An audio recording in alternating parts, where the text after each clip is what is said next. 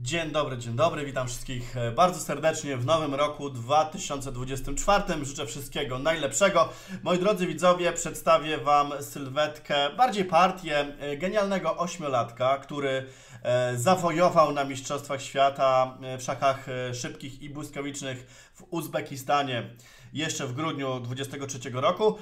No ten ośmiolatek posiada ranking w szachach klasycznych 1800 ELO, ale już w Rapidzie ma powyżej 2200 i powyżej 2100 w Blicu, więc nie lada ośmiolatek, który sobie świetnie radzi nawet z arcymistrzami. 8 lat, przypominam moi drodzy, to jest niezwykle mało, jeśli chodzi o tak wysoki poziom, który reprezentuje ten gość, a nazywa się on e, Roman e, Szogdźiew.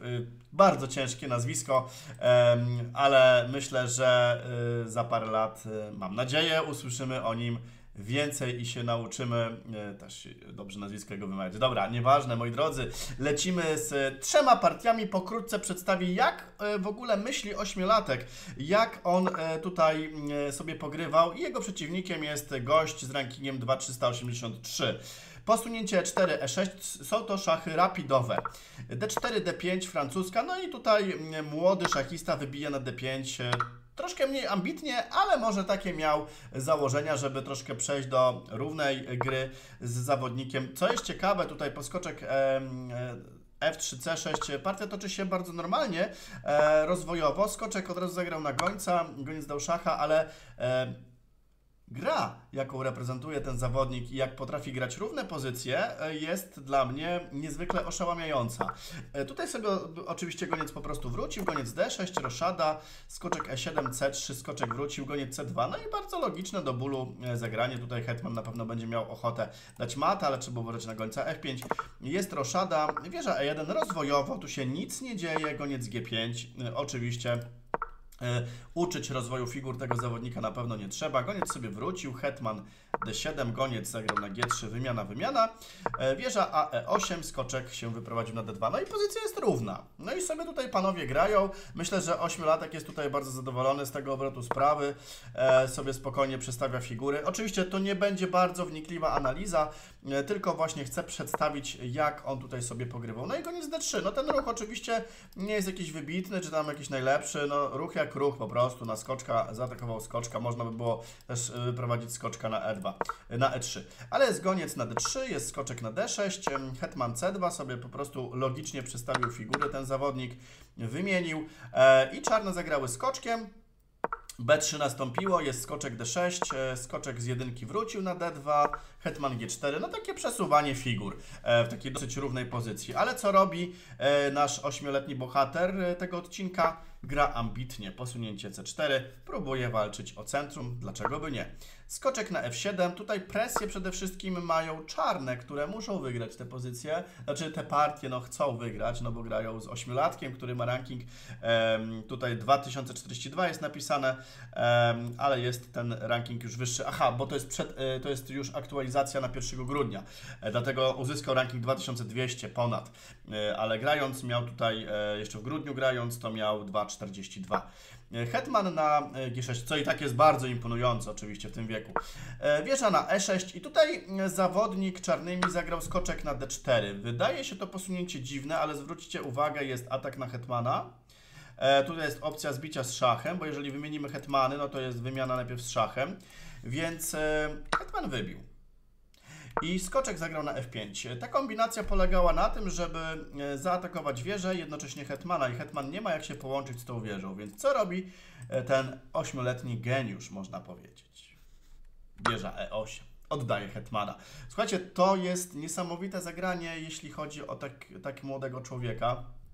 E, widać już bardzo takie powiedzmy abstrakcyjne podejście troszeczkę do szachów, znaczy abstrakcyjne, no takie niekonwencjonalne, nieszablonowe i to jest e, ten całe cały ten klucz do tego jego sukcesu i rozwoju. On już potrafi dostrzec inne możliwości niż takie utarte ścieżki kombinacyjne. No i bardzo ładnie zagrał, to jest bardzo dobre podejście, dobre przeliczenie sytuacji, bo skoczek zbił na D4, nastąpiła wymiana i skoczek zbił na D4. No i tutaj ta pozycja jest nieco lepsza białymi zdecydowanie. Czy wygrana? Bardzo ciężko, bardzo ciężko to stwierdzić. Myślę, że y, Carlsen tu sobie poradzi świetnie, ale czy ośmiolatek? Nie wiadomo właśnie, no bo y, dwa skoczki, dwie wieże, tutaj trzeba zdobyć super koordynację, żeby być już spokojnym. Hetman zagrał na D3, ruch słaby. E, przede wszystkim należało tutaj wybić, e, wybić, znaczy wybić. O tutaj skoczek E6 jest dobry z zagraniem na F4 na przykład od razu, ale wymiana tutaj czarnymi byłaby myślę, że po prostu lepsza. Chodzi o to, że w tej sytuacji po hetman e D3 E, nastąpił szach, królew 7, ale niestety teraz e, nasz tutaj bohater młody się pomylił i zagrał skoczkiem na D8. Zaraz to wyjaśnię. E, przede wszystkim należało zagrać na przykład bicie, bicie i skoczek na F4, czyli łapać koordynację. Potem skoczek na E3, wieża D1 i próbować właśnie koordynować te figury, żeby one były blisko siebie. Mimo pionka mniej, nadal pozycja białych tutaj uważam, że jest no, wygrana nawet. E, ale nastąpił ruch skoczek na E8 e z szachem. Król zagrał na G6. Niestety błąd. E, trzeba było królem zagrać na E7. Okazuje się, że po biciu tu na B7, co nie ma wyjścia, mógłby nastąpić hetman C3 z atakiem na wieżę, wieża D1 i hetman B4. I ten skoczek nie ma po prostu nigdzie ucieczki.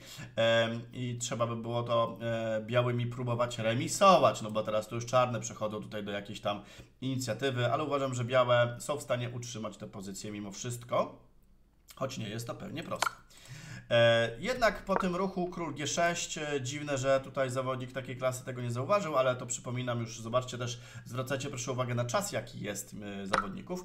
Nastąpiło bicie, bicie, skoczek wrócił bardzo dobrze i tutaj już skoczek się świetnie odnajduje na polu F4. Bardzo ładne też zagranie, takie przyznanie się trochę do błędu, można powiedzieć. Świetne myślenie. E, bardzo mi się to podoba. Król H6, skoczek na F4, hetman C3, wieża D1. E, pionek e, idzie, ale on jest kompletnie niegroźny. Wieża D2. Tutaj należy spokojnie, spokojnie przestawiać te figury. I to jest właśnie myślenie ośmiolatka, moi drodzy. Skoczek na E2 spokojnie najpierw zniszczy jednego pionka i to się właśnie dzieje. Ta pozycja jest kompletnie wygrana białymi. Kompletnie, absolutnie. No jeszcze wymaga to oczywiście trochę techniki. Wieża E2, tu hetman D5, wieża z powrotem. To na pewno, jeśli chodzi o granie troszeczkę e, na czas, znaczy nie to, żeby wygrać na czas, tylko żeby łapać te dodatkowe sekundy. Wymiana, wymiana, skoczek na F5 znalazł ładną placówkę. Zobaczcie jaka pułapeczka, przecież nie można zbić hetmanem, bo, hetman, e, bo skoczek G3. No i ośmiolatek takie rzeczy dostrzega, to jest piękne. E, łatwe, ale piękne zarazem. Hetman G4, skoczek na E3 i właśnie mówiłem o tej koordynacji. To już jest piękna koordynacja. Teraz kwestia dobrej techniki. Wieża C2, Tutaj jeszcze jakieś tam e, latanie i król G2. No to jest piękne, takie arcymistrzowskie można powiedzieć podejście. Na sekundach, zobaczcie ile sekund ma ten młody człowiek oraz przeciwnik. No i tutaj e, zwyczajnie białe ogrywają e, czarne. No i tutaj zobaczcie, wieża D8, jakieś e, wieża wróciła sobie z powrotem, e, B5, skoczek sobie ruszył z atakiem i tutaj, hetman broni, skoczek D4, król się podsunął i wzięcie pionka. No to tutaj już widać, że jest jeszcze lepiej. Oczywiście można grać bardzo spokojnie, znowu koordynacja, bardzo ładnie zagrane, król G7, wieża na E2, no i tutaj skoczek E3. Już widać grożą widełki, król jest bardzo bezpieczny, jeśli skoczki są blisko. Nastąpił szach, skoczek na C4, bardzo ładne zagranie, stąd skoczek będzie sobie świetnie kontrolował. Wieża dała szacha. No i tutaj e, niby jest koniec partii, ale jeszcze na transmisji, jak widziałem, nastąpiło e, król C3. Skoczek dał szacha, król e, B4 i bardzo ładne zagranie. Co byście zagrali, słuchajcie, na dwudziestu kilku sekundach teraz.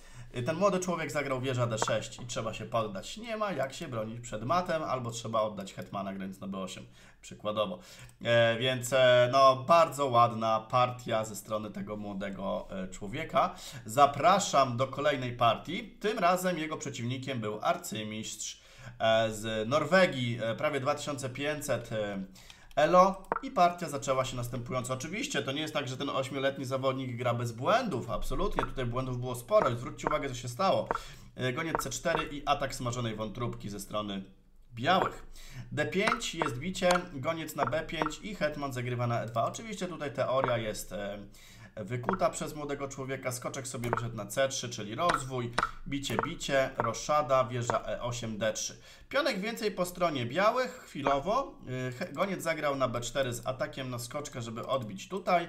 Nastąpił goniec D2 i widzimy yy, też, mi się to bardzo podoba, bo ten młody człowiek widzi, że trzeba te figury jednak rozwijać. Nastąpiło bicie. Hetman E4. Piękny ruch, zobaczcie, grozi mat, grozi wzięcie skoczka. Jak skoczek wróci na F6, to bijemy na B4. Tutaj oczy- oczywiście nic nie tracą białe, przepraszam, czarne, bo jest też związanie. Nastąpiło F5. No jest wymiana, wymiana, wymiana, co jest dobrą e, rzeczą dla białych na pewno. Skoczek wrócił i ten goniec wraca na H6. No lepszego ruchu tutaj raczej nie znajdzie. E, I co robią białe? Białe mogłyby spróbować zbić tutaj pionka, ale tutaj ta wieża mogłaby złapać aktywność. Po co? Dlatego też e, nastąpiło B4.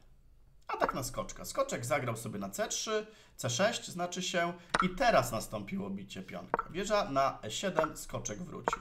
Wieża D7. No i tutaj B5, czyli e, no już taki mały błąd można powiedzieć. Należało próbować grać e, C4, bronić skoczka, no ale widzimy, ten młody człowiek e, zagrał po prostu inaczej, troszkę gorzej, ale nadal pozycja jest dosyć ciekawa. No tutaj e, przede wszystkim po takim biciu na C6 e, spokojnie, myślę, że tutaj wieża na E1 z normalną pozycją, e, więc myślę, że arcymistrz powinien sobie dawać radę, ale nastąpiło E4, dosyć e, w sumie ambitnie ze strony czarnych.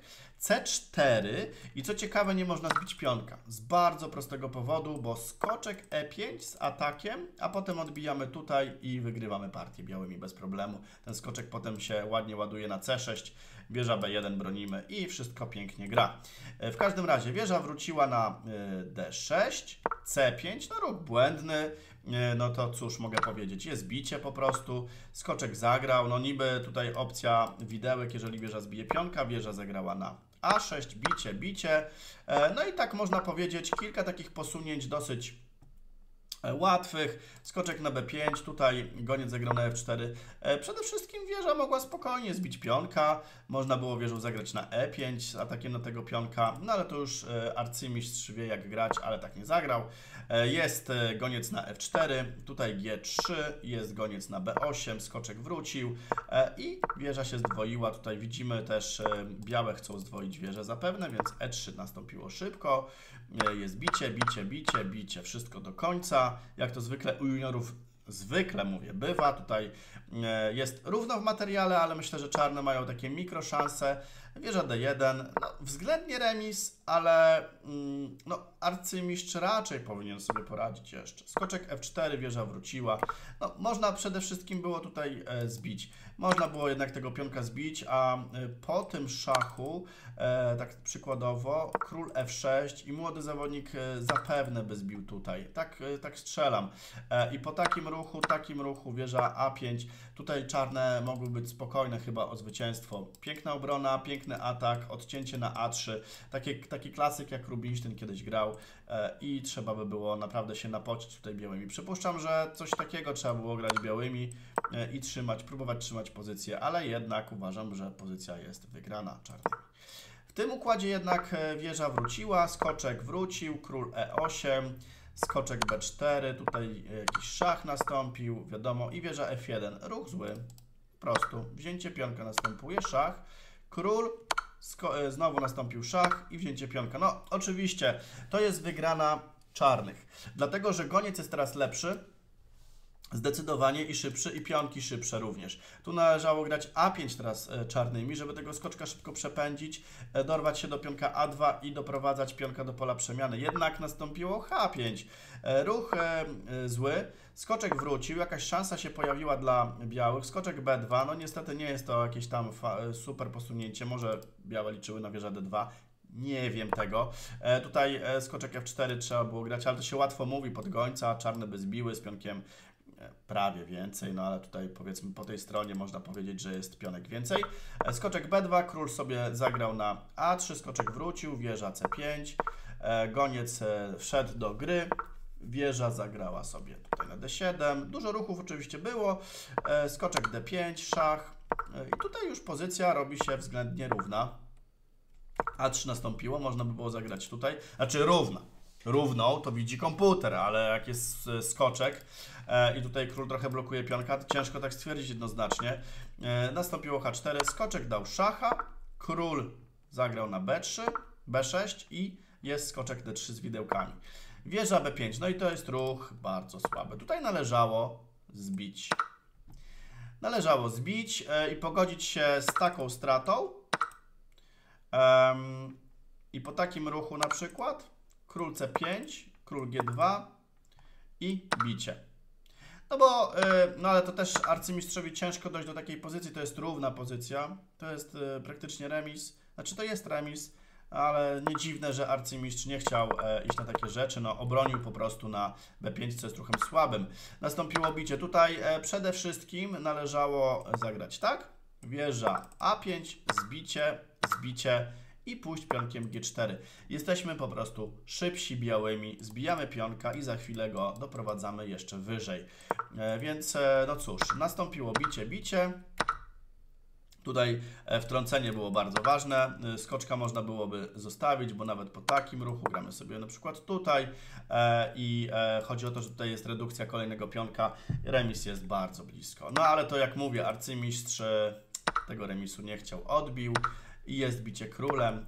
I ta pozycja jest po prostu wygrana białymi, bo pionki białe są szybsze. Jakieś tam szachy nastąpiły, pionek poszedł do góry, H6, H7, nastąpił ładny szach, bardzo ładnie to wyliczył młody człowiek i wieża H6. No i tutaj po szachu, e, dorobieniu hetmana e, i pionek do przodu czarne uznały wyższość e, ośmiolatka. Moi drodzy, i trzecia partia tego e, zawodnika, e, nieco niepoprawna, ale trzeba zauważyć właśnie tę wspaniałą grę tego zawodnika, który ma dobre pomysły i to, to mu się chwali. On ma dopiero, przypominam, 8 lat.